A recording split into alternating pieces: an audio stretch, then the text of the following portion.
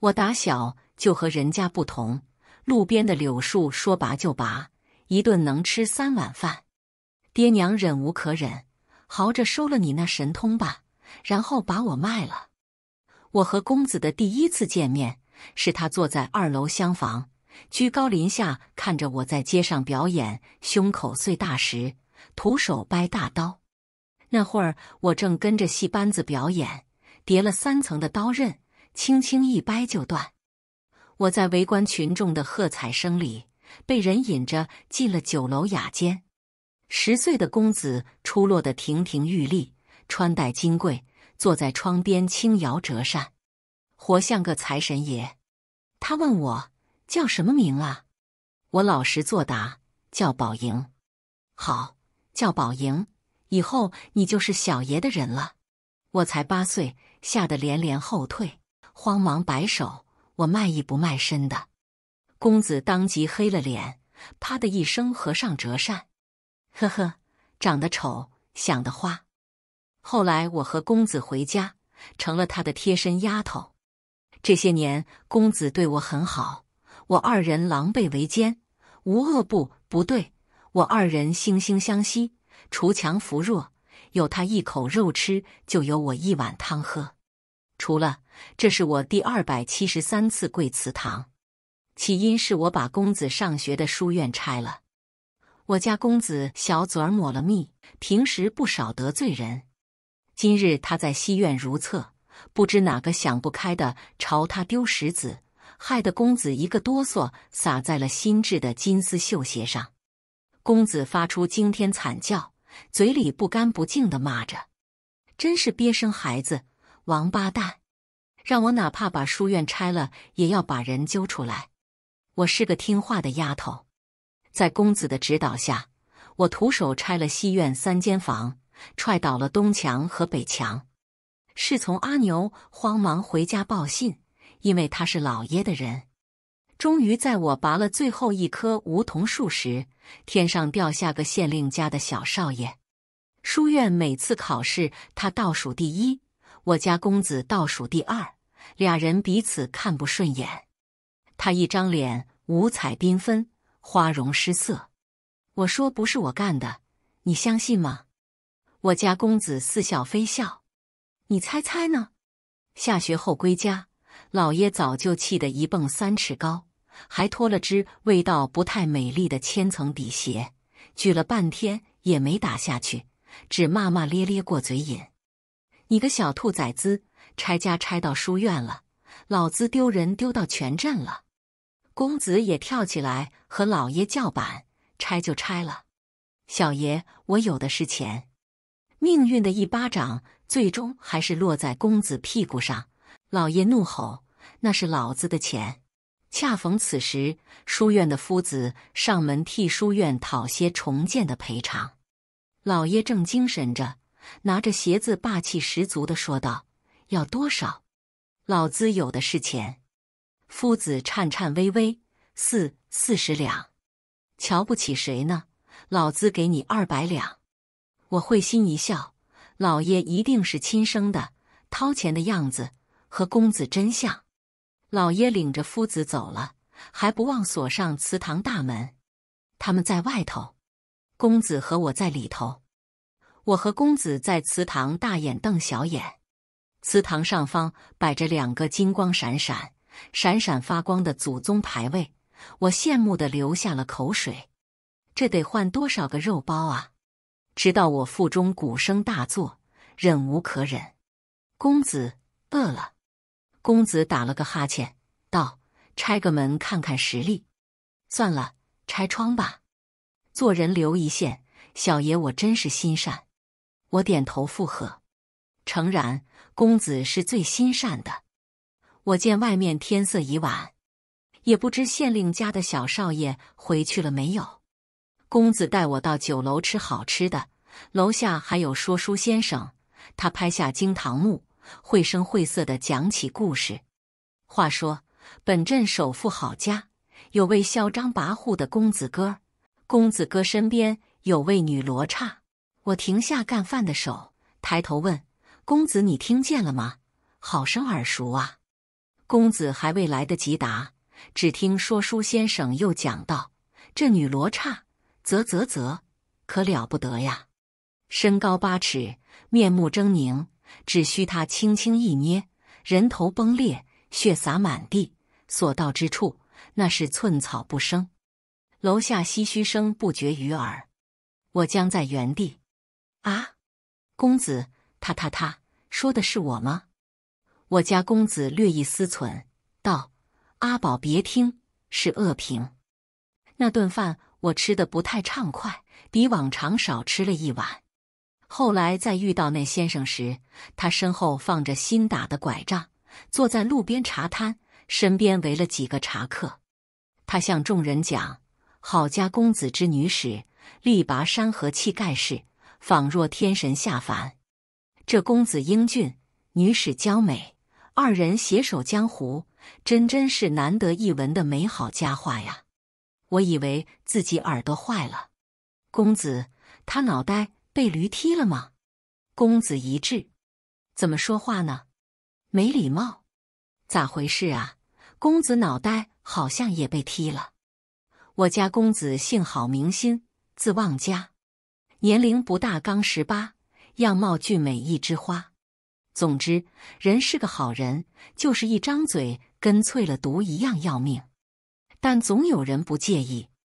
他天生脑门上就顶着“金龟婿”三个大字，除了在家，到哪儿都招人稀罕。比如公子姨母家的表小姐柳莺儿。这日，我同公子提着两包酱鸭从街上溜达回家，正撞见表小姐从门前的马车上下来。老爷夫人在门口相迎，公子一个急转身，扯着我就走，还嘟囔着：“黄鼠狼给鸡拜年，走走走。”但架不住夫人眼尖，我私以为是公子穿着过于招摇，金光闪闪，很难让人装下。站住！你同婴儿表妹许多年不见，还不快来见礼？表小姐身形婀娜。宛如纤纤细柳，眼含秋水。表哥万福，他柔柔弱弱的率先依礼，我看在眼里，怪好看的。公子规规矩矩回到表妹安好，便领着我走了。我问公子为何要躲着表小姐，公子倚着金丝楠木椅，吹了吹手中新茶，道：“他八十年的龙井，老绿茶了。”哦。这种的，我一拳能打哭好几个。晚宴是特意从醉春楼订的席面，给表小姐接风洗尘。樱桃肉、焖鱼翅、烧鹿筋、清炖肥鹅，我馋的口水咽了一遍又一遍。表小姐的秋波朝公子送了又送，公子小声巴巴：“癞蛤蟆想吃天鹅肉，做梦。”我回神后，自省三百回合，才确定公子说的应该不是我。公子被表小姐盯得心烦，骂骂咧咧退场。还好从外头打包的酱鸭尚在小厨房温着。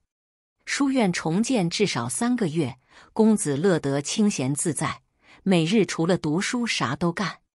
有人急坏了，老爷偷偷找到我，一副苦大仇深的模样。阿宝啊，臭小子向来宠你，你帮我劝劝他。男子要读书才能成大事，当父母的都是为他好。好孩子，拿去买些吃食，瞧瞧你都瘦了。我定睛一看，竟是一锭银元宝。嘿嘿，老爷的形象瞬间高大起来。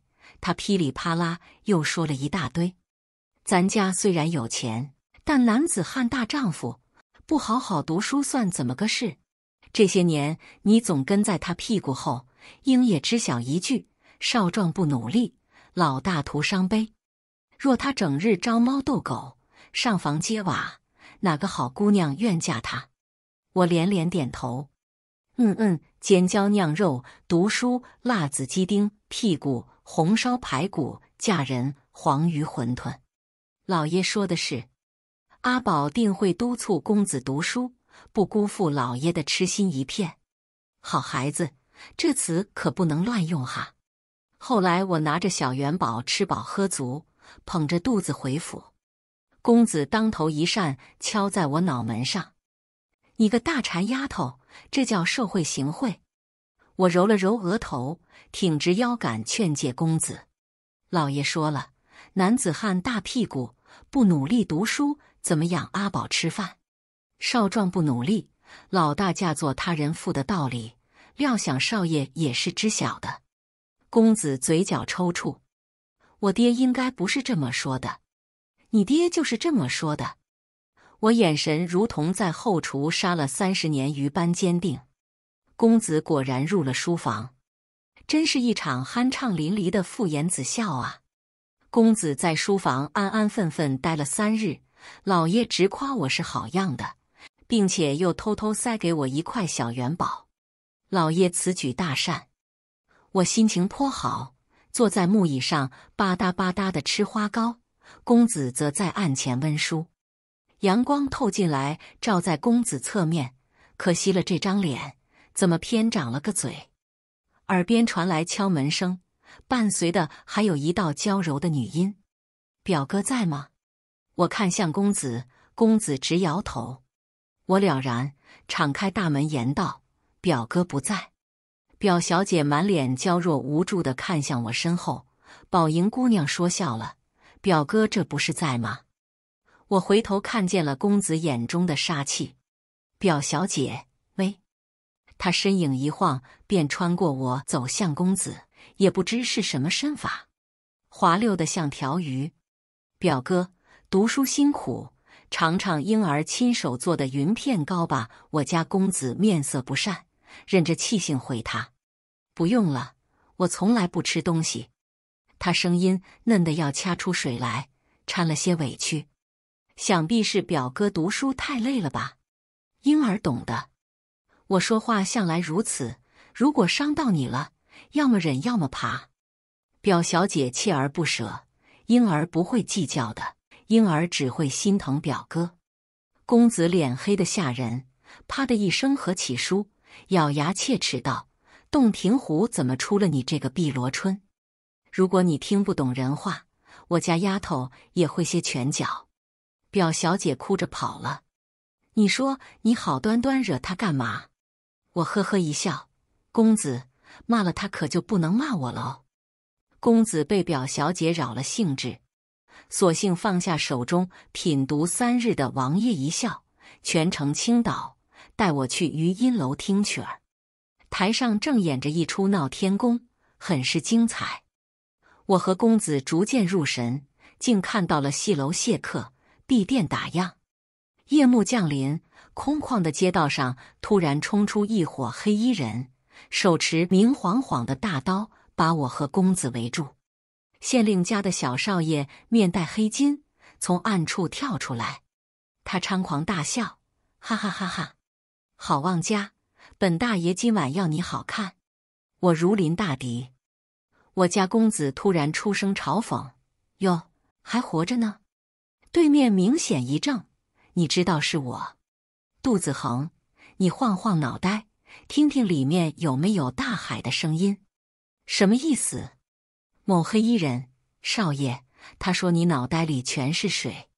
说罢，这小少爷突然撂蹶子，他一屁股赖地上，哭得惊天动地。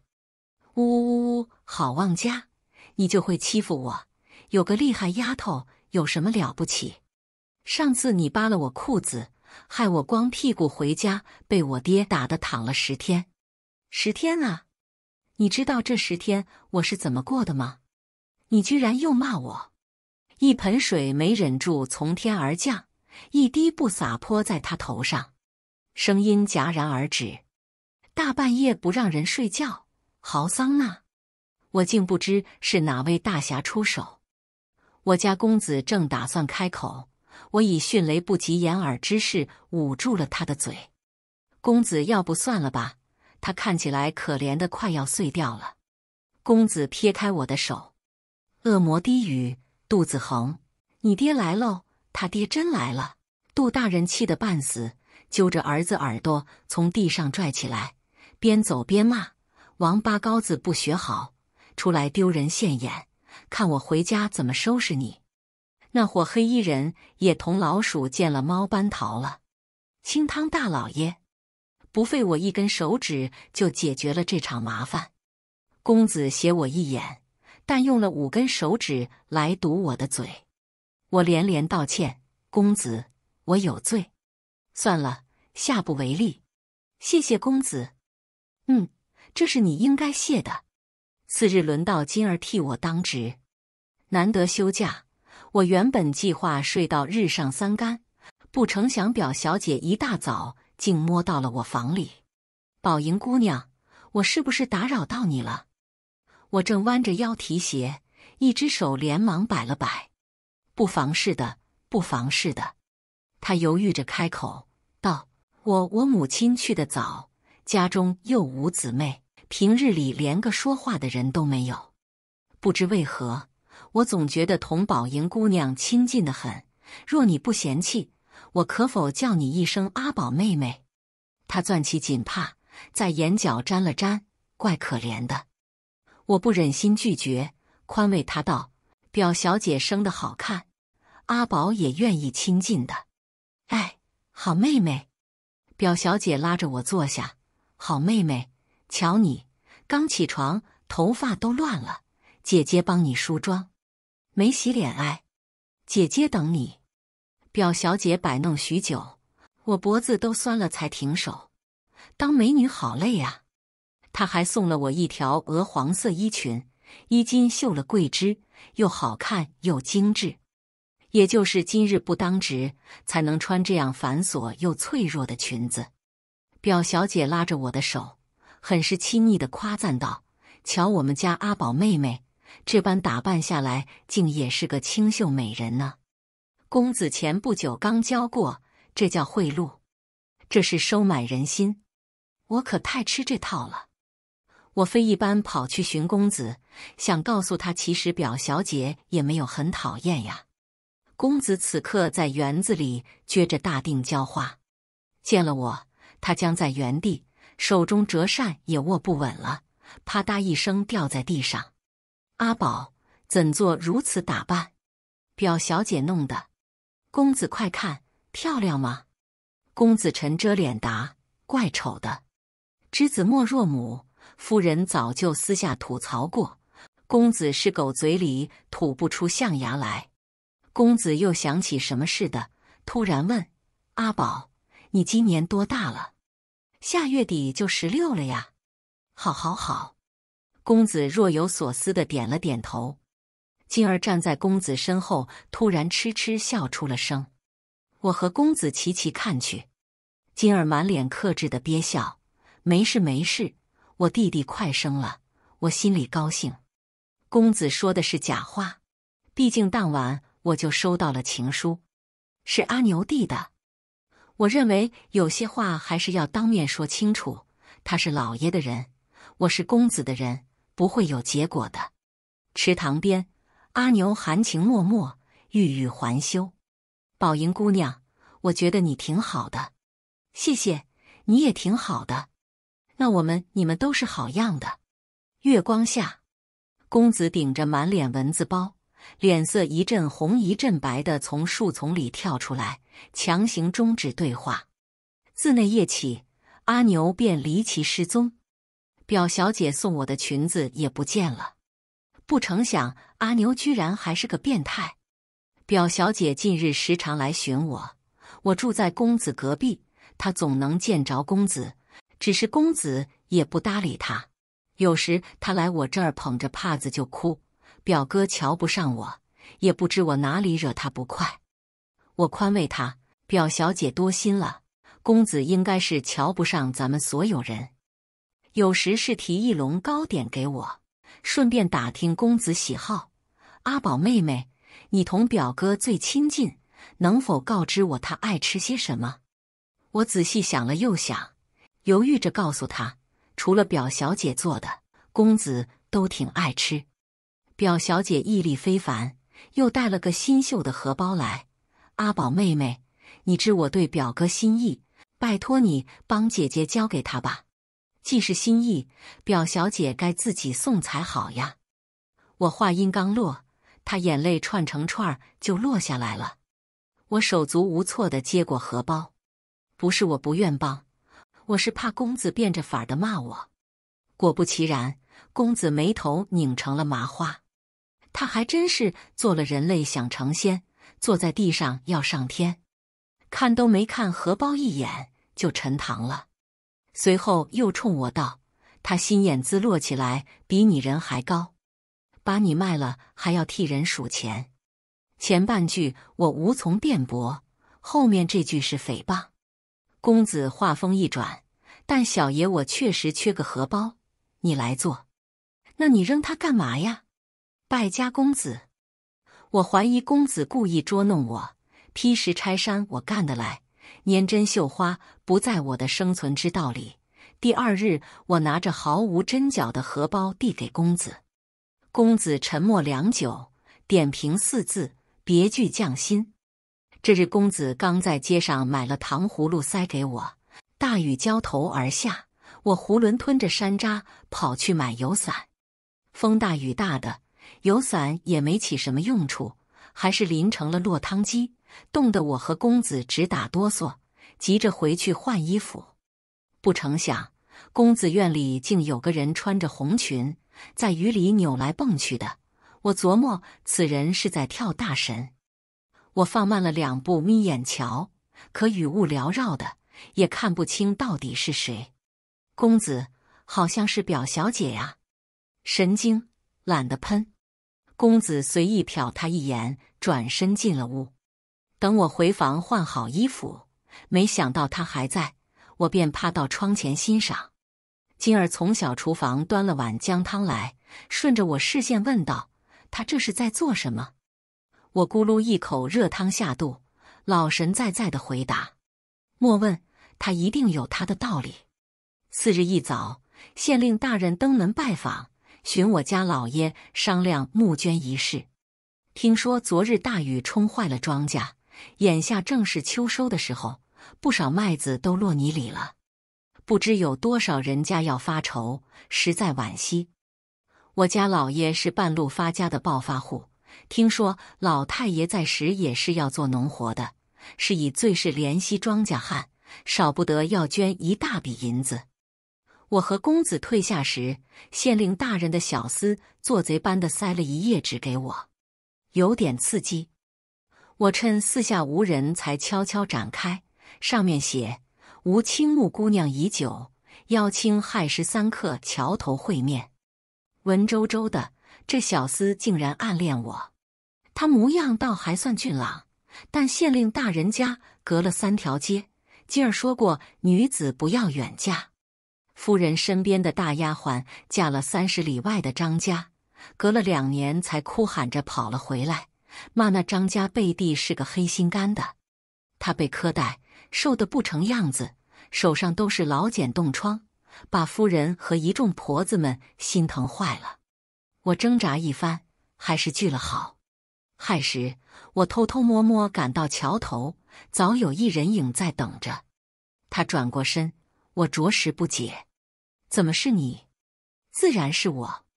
暗恋我的不是小厮，是他家少爷杜子恒。姑娘天生神力，本少爷心服口服。你跟我回家。”我抬你做个妾室，不比跟着郝旺家那笨蛋强。我点头，有道理，走吧。他大喜过望，姑娘真是女中豪杰，爽快。好你个不干人事的杜子恒，脑仁还没瓜子大，也敢撬小爷墙角。好熟悉的声音，好巧，我家公子怎么也在这儿？莫名有种被当场抓奸的羞涩。回头看去，我家公子不知从哪里冒出来，穿一身夜行衣，跟个贼似的。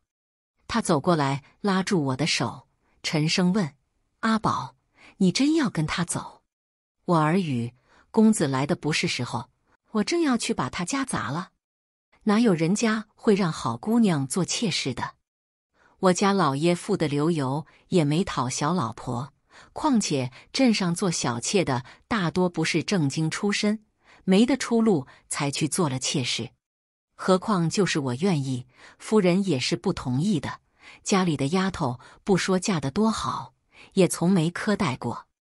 公子展言，十分赞许，说得好，以后我日日都带你吃席面。公子又看向杜小少爷，朗声道：“杜子恒，小爷我真是小瞧你了，主意都打到我院里来了。”公子步步逼近，杜子恒连连后退，然后就掉进了河里。这倒霉孩子！我挑了棵距离最近的树，左手托着树干，右手绕过去，使力将树连根拔起，这才把他捞上来。他头发都散了。滴了好多水，像个水鬼。他抹着眼泪鼻涕，哭嚎着撂了句狠话：“三十年河东，三十年河西，等着瞧。”三十加三十，他居然六十岁还准备和公子干架。表小姐连着两日未曾露面，等到第三日，她身边的丫头哭哭啼啼的来找公子：“公子，我家小姐病得厉害。”还请您去瞧一眼吧。算起来，应该是那天在雨里淋出的毛病。好好的人，把自己冻坏了。公子本是不在意的，只笑着问：“有病找大夫，找我干嘛？”那丫头只跪着啜泣。公子无奈道：“罢了，我去瞧瞧。”跟公子时间久的都知道，其实他是个嘴硬心软的。别让人死我家里了。表小姐面色苍白的躺着，屋里熏了香，也遮不住苦兮兮的汤药味儿。她见公子过来，叫丫头扶着坐起身，斜倚在床头，病恹恹的惹人怜惜。表哥，你来看婴儿了，喉咙里塞邪了，不能好好说话。我走了。表小姐一把拽住公子衣袖，半个身子都伸出床外，眼泪说掉就掉。表哥别走。是婴儿不好，让表哥咽气了。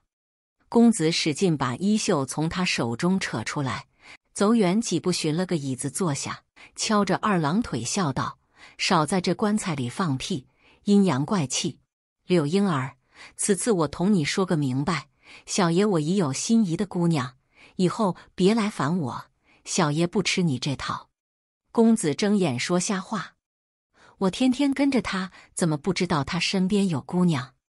表小姐脸色微变，眼泪哗哗淌。婴儿做妾也愿的，可小爷不愿。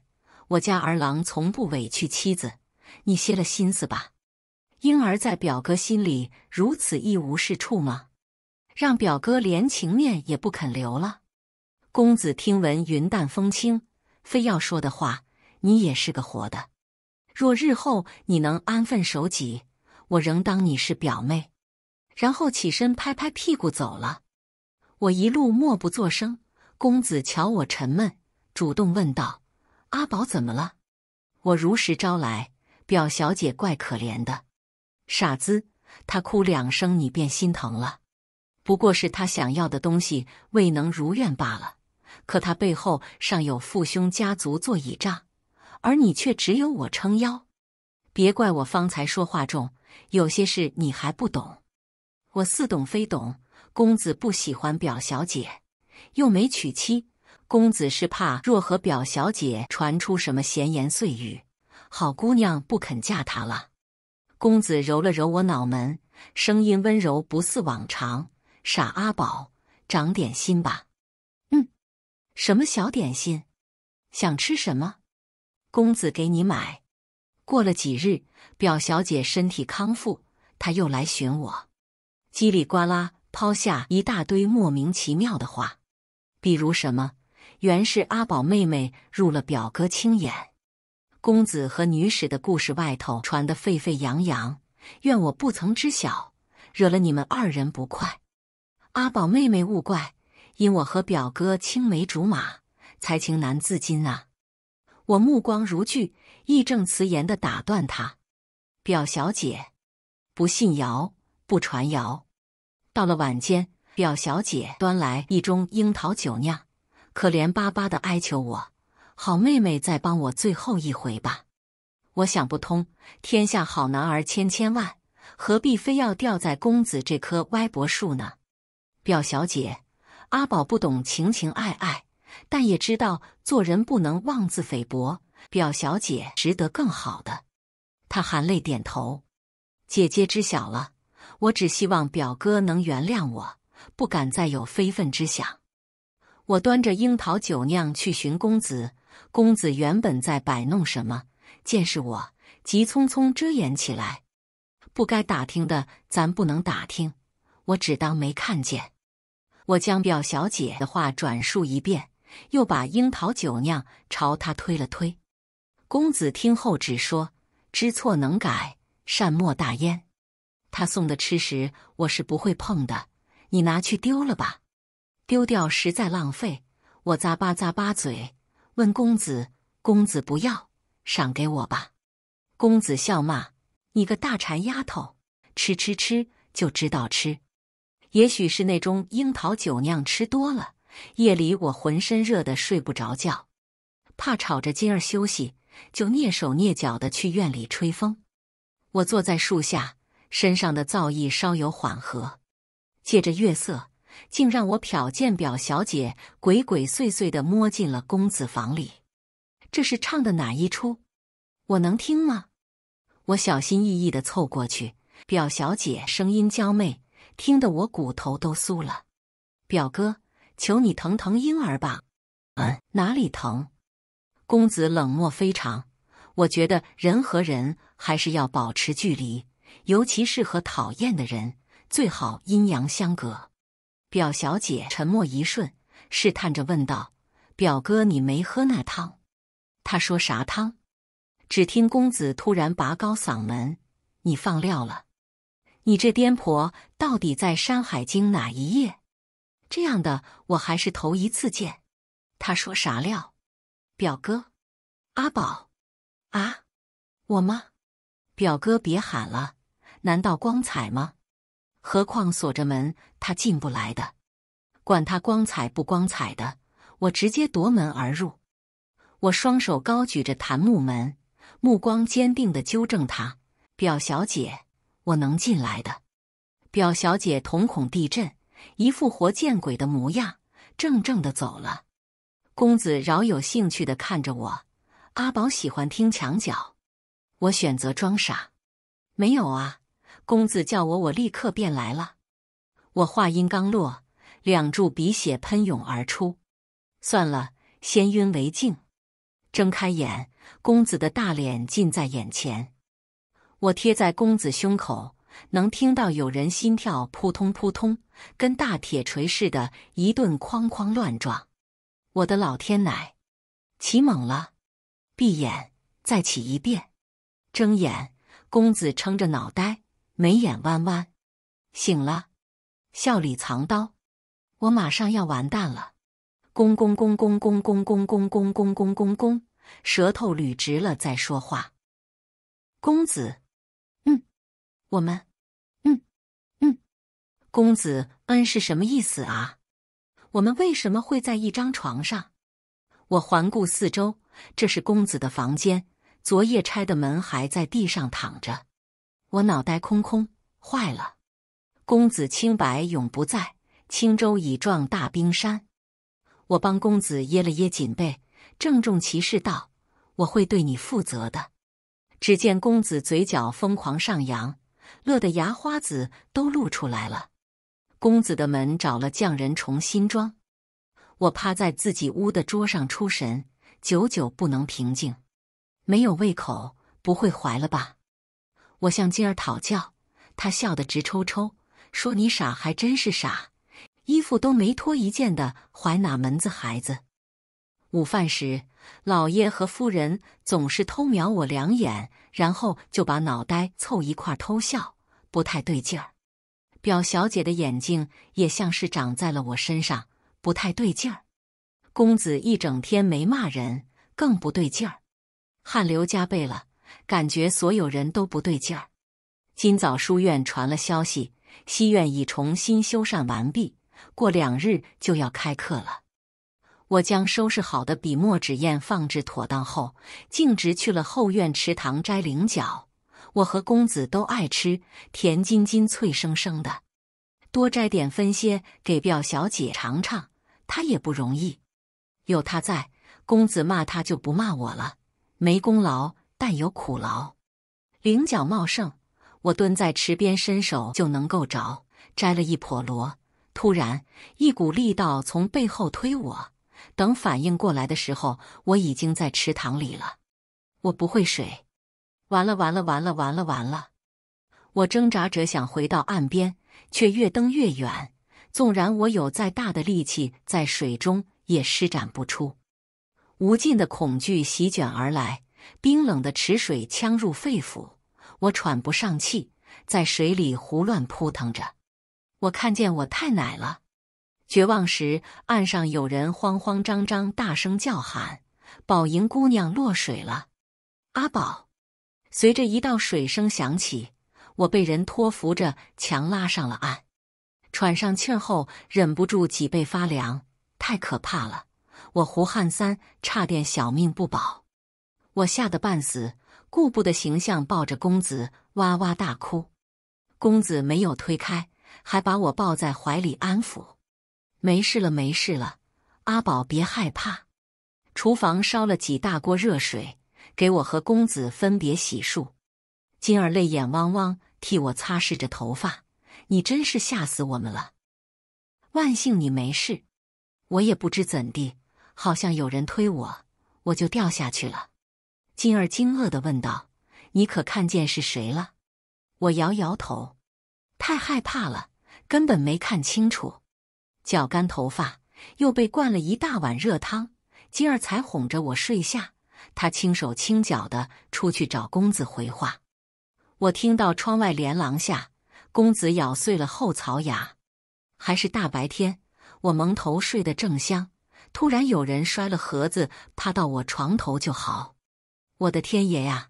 好妹妹，呜呜呜呜呜，很难不被吵醒。让我看看怎么个事。我掀开被子，只看见一个脑袋趴着，哭得稀里哗啦，金钗乱晃。表小姐，她抬头，眼睛红溜溜的，八成是公子又惹她了。四目相对，我率先开口：“表小姐有没有听过一句话？”我看出她眼中的迷茫，轻轻拍了拍她肩膀，鼓励道：“好女人走四方，心里有苦不声张。”坚强起来，我们都是好样的。表小姐截住话头，临走时送我一根老参，并嘱咐我好好休息。人还怪好的嘞。后半日我躺在床上百无聊赖，也不知到底是谁想害我，我也没招惹谁呀。难不成是和公子待久了，欠下的亏心账吧？晚饭时，金儿带了好些我爱吃的菜来。是公子特意吩咐的。听金儿讲，公子报了官，没成想县令家的小少爷也跟着衙役来了，说是要凑热闹，八成是来看咱府里笑话。公子瞧他鼻子不是鼻子，眼不是眼的，当场轰他走。金儿捏着嗓子学公子撵出去。小爷我从小就怕狗，像像像，公子可不就是这样的。我俩咯咯咯笑成一团，用过饭，我脑袋昏昏沉沉，提不起一点力气，便早早睡下。夜里起烧了，把金儿急得团团转，还惊醒了公子。我迷迷糊糊的，不知怎么又想起小时候家里种了几棵核桃树，爹娘是不让我碰的，等成熟就全卖掉换成铜板了。我偷偷给小弟摘，却没收好力道。碰断了枝干，挨了爹娘好一顿打，可疼呢。后来跟着公子，再也没饿过肚子，挨过打。其实有点想他们。不知何时来了个山羊胡，他又是抠我眼珠，又是摸我手腕，最后直接拿银针把我扎昏了，好不礼貌。等我醒来，定要公子骂他一顿，替我出出气。太阳当空照，阿宝身体好。一觉睡到晌午，神清气爽的不得了。我下床伸了个大懒腰，刚推开房门，入眼是整整齐齐一排大土坑。原本种着的桂树、海棠树、银杏树、巴拉巴拉树全不见了！糟糕，家里遭贼了！我慌慌张张跑去找公子。公子，咱家树给人偷了。公子淡定如常。我让人挖的。为啥呀？树死了，咋回事呀？不知道啊。真是奇了怪，好好的树怎么说死就死？别是撞邪吧？难不成池塘有水鬼？公子打断我的思路，一本正经道：“阿宝，害你落水的人是阿牛。”已被杜子恒带走了。我一拍大腿，这人也忒小心眼儿，竟是他呀！嗯，他表白不成就偷我裙子的臭变态！咳咳咳咳，公子突然掩嘴咳嗽起来，脸都憋红了。我上前关切道：“公子，你没事吧？”公子推开我，强装镇定：“别管，呛的。”入夜。我与金儿躺着说闲话，金儿姐，你说咱后院是不是撞邪了？怎么，就是老爷种的那些树啊，突然全死了，连公子也说不清楚。金儿脱口而出：“什么撞邪？我明明看见公子给树浇开水，公子什么时候多了这种癖好？”次日书院正式复课，下学路上我突然灵光乍现。前日手忙脚乱的，我摘的菱角说不定还在池塘边放着呢。急急急急急！我跑得飞快，公子在后面气喘吁吁：“慢点，你慢点！”真拿他没办法。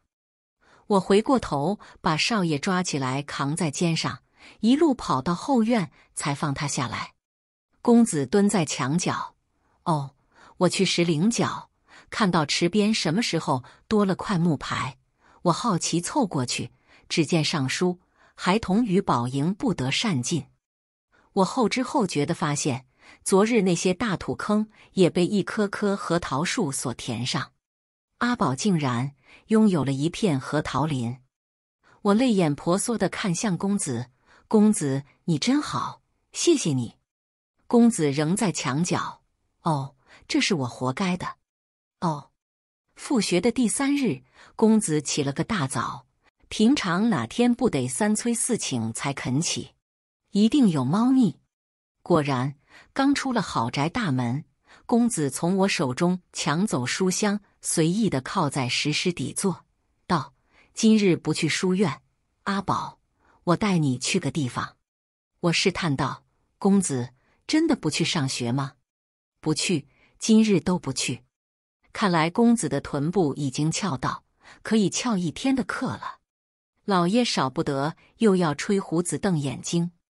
公子满不在乎，替我裹了裹身上的披风，然后走在前面领路。你知道的，我爹半路发家，肚子里没二两墨，就希望我能好好读书，最好再考个功名。哼，小爷我偏不爱做劳什子学问。就喜欢生意场上见真章，何况这富贵虽落到我家，若是不用心经营，只怕也难以为继，养不起你了怎么办？我小声嘟囔：“我可以少吃点的。”公子站定，回头拍拍我脑袋，笑盈盈说道：“傻阿宝，你吃多少我都养得起。”我仰头看向公子，他的眼睛里全是我的身影，好像有什么。快要破茧而出了，我们雇了辆马车，公子和车夫报过地点，然后带着我直奔城外，也不知是去哪儿。总之是公子说了算。我伏在公子腿上睡了一路，下车时人还是懵的，与记忆中重叠的景色让我一下子清醒不少。我揉了揉眼，不确定是不是我想的那样。公子拉过我的手。柔声道：“去看看吧。”我们停在一家院子三丈外，不敢再靠近。视线越过矮院墙，院里的三棵核桃树已经长得很高了。皮肤黝黑的大叔卖力的劈着柴，包着头巾的妇人正在厨房里忙活。一如我幼时，哎，你俩在我家门口作甚？我顺着声音转身，小小少年穿着干净的布衣，身后牵着头老牛。院子里的人听见声音，也瞧见了我和公子，小心翼翼问道：“二位少爷小姐，可是要问路？”我抿了抿嘴，不知如何开口。公子见状，坦然笑道：“大叔、婶子，方便讨口水喝吗？”“嗨，我当是啥大事呢？来来来，刚好是晌午，他们又留我和公子吃了顿午饭。”他们如今过得还不错。离开时，我塞给妇人一个荷包，里头装了些银子，一点心意，收着吧。妇人不收，我胡乱按进她怀里，急步上了马车。回到镇上，公子先带我在最好的酒楼搓了一顿，才回家。紧绷的心情缓和许多，我心虚的开口：“公子不问我为何不和他们相认吗？”公子摇摇头，耐心道：“他们生你却不养你，认或不认都不是你的错。何况今日本就是我自作主张，只想带你见见他们，知晓他们过得并无不妥，也就够了。”我抽了抽鼻涕，他们卖掉我，我是怨的。小时候我想起他们就哭，我也想有娘疼有爹护。后来长着长着就不怨了。今天是我还没想好，如果阿宝有一天想认他们了，咱们再去就是。我心中涌起暖意，展颜应下。好，夜幕降临，公子神秘兮兮的来叫我，阿宝跟我来。我也神秘兮兮的跟上，压低了声音问他：“公子，我们是去做贼吗？我看你像贼。”跟着公子来到后院，公子清清嗓。道：“闭眼，不知道公子搞什么名堂。”我忐忑的闭上眼睛。公子开始了吗？已经结束了。睁眼瞧瞧。我张开眼，公子捧着个精巧的木盒，献宝似的递给我。我秒懂，彩虹屁立刻跟上。呀，这可真漂亮呀！公子眼光可真好，竟知我正缺个盒子。公子哑然，有没有可能？你把盒子打开。我点头如捣蒜。哦哦，是一把木梳，在精致的盒子里显得略粗糙些，瞧着倒像是某人亲手刻的。原来如此，偷偷开心一下。公子每日总背着我摆弄的就是这个呀，生辰快乐。耳畔传来烟花炸开的声音，公子的脸庞被烟火照亮。只见他笑得张扬，得意洋洋道：“阿宝喜欢吗？喜欢，我也喜欢。公子喜欢什么？”公子俯身附在我耳边答：“我喜欢阿宝，我的娘，我的老，我的衣服，我的袄，我的脑瓜变大枣。”救救我！谁来救救我？天上的烟火炸个不停，公子的脸忽明忽暗。他笑出声，又问道：“你上次还说要对本公子负责，我的将来有阿宝，那阿宝的将来可有我一份？好紧张，好害羞。”我面上羞涩，扭捏片刻后，面红耳赤的回应他：“有，有，有，有的。”公子呲着大牙花子傻乐，前方突然传来我家老爷的怒喊声。只见老爷举着扫帚就要扑过来。好你个小兔崽子，藏这儿了，竟然还敢翘课！看我不打死你！公子吓得撒腿就跑，他逃，他追，阿宝原地看热闹。爹，别打了，你儿媳妇还看着呢。放屁！阿宝还小着呢，你不要脸！番外表小姐，小姐最近很烦恼，她同隔壁周员外家的小资打赌，说自己一定会嫁个有钱人。那小资嗤笑小姐白日里做梦。是以，小姐火急火燎的带着我向姨母家奔赴，目标人傻钱多的大表哥。自从进了郝家大门。小姐的嗓子就病了，明明前一天和周家小资互喷时还铿锵有力的。小姐说：“你不懂。”小姐还说：“要哄住一个男人，首先要哄住他的胃。”于是吭哧吭哧在厨房里忙活半天，最后端出来一碟子糕点。其实小姐厨艺很好，但表哥厌恶极污，送过去的糕点不是扔了就是退了回来。后来表小姐又从话本子里看到贵妃雨中醉舞，惹得圣上军心荡漾，她也要学。苦等多日，终于等来一场雨。表小姐欢天喜地的换了一身红裙，冲进雨幕。且不说话本里的雨是不是也这般滂沱倾泻，单说那贵妃与君王本就是对鸳鸯，而小姐的表哥从来不正眼瞧她。小姐使出浑身解数，一场雨把自己淋病了，可表哥不屑一顾，还把小姐臭骂一顿。小姐后槽牙咬得咯咯响。我忍。后来小姐带我去茶楼消遣，好巧不巧又和周家那小子撞个正着。他出言无状，小姐也不是好惹的，像个炮仗般一点就着，二人争得面红耳赤。事后小姐去了药铺，非要买包春药回去，全塞表哥嘴里。我偷偷给药铺伙计使眼色，又对小姐说：“我去盯着他。”别拿些旁的糊弄小姐，小姐点头如捣蒜。好丫头，记得要最猛的药。经过我一番周旋，药铺伙计给小姐抓了腹补气血的猛药，小姐很满意，我也很满意。到了夜里，小姐摸黑进了表哥的房，我捏了把汗，偷偷跟着小姐，生怕她真把自己脱光进了男人被窝。幸好阿宝那丫头及时出现，卸了大门。小姐惊呆了，我替小姐合上了下巴。直到第二天，小姐还在震惊。听说过那丫头力气大，本以为不过是说书先生夸张了些，却不知竟是阿宝本人更夸张了些。强娶表哥不成，小姐丧失了斗志，闷闷不乐。谁想那周家小子送上门来。小姐乐了，这可真是瞌睡来了送枕头。于是劈头盖脸给他上了一顿思想教育课。那小子今日不对劲的很，嬉皮笑脸的哄着小姐。小姐气顺了，倒也大方道：“我就认识表哥这一个有钱的，他看不上我。姑奶奶愿赌服输。